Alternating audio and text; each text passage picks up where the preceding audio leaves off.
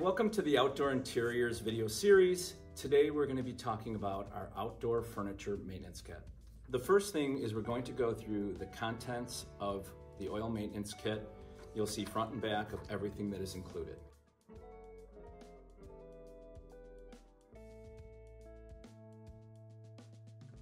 First things you may use in your kit is the furniture cleaner. And this can be used not only in hardwood furniture, but also on wicker and sling products as well. So our kit does come with gloves that are really great for using when oiling, but also for when cleaning. We have included the soft cotton rag and we also have the bristle brush. Um, you can pour some into a cup and you can use it for cleaning any areas that have dirt and debris. For the next step, you're gonna see everything that you need for oiling your furniture. So we're gonna start by filling our reservoir or our container um, that can be reused with this sponge application. And this is a great way to apply the hardwood oil to your furniture. It goes on easily and always oil with the grain. You can, of course, come off to the side, but this is a great way to start your oiling project.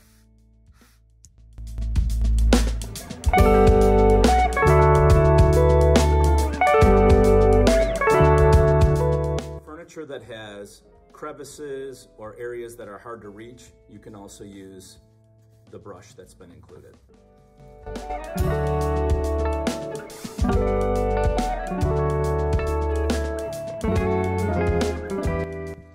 After oiling your furniture, allow the surface area to dry for about 20, 25 minutes or so, depending upon your climate.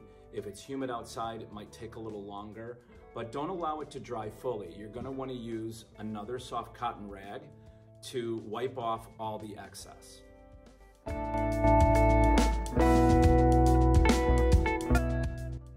A lot of the hardwood furniture that's available in the marketplace has various sling and all-weather wicker products that have been blended into the hardwoods.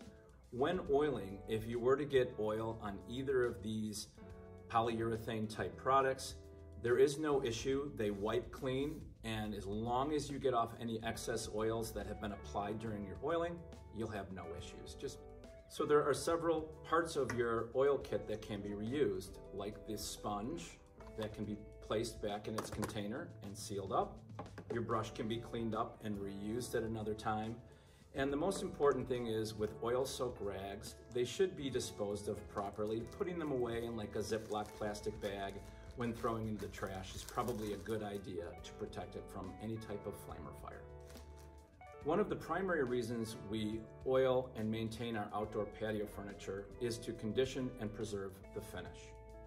You may be asking yourself, how many times a year do I need to oil my outdoor patio furniture?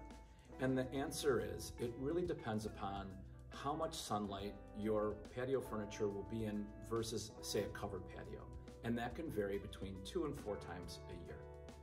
Lastly, the frequency of oil applications really depends upon your climate and where you live. If you're in a drier, more desert-like climate, your furniture is going to show you telltale signs that it needs more oil. And if you're in a covered patio or in a more humid climate, it might be just the opposite.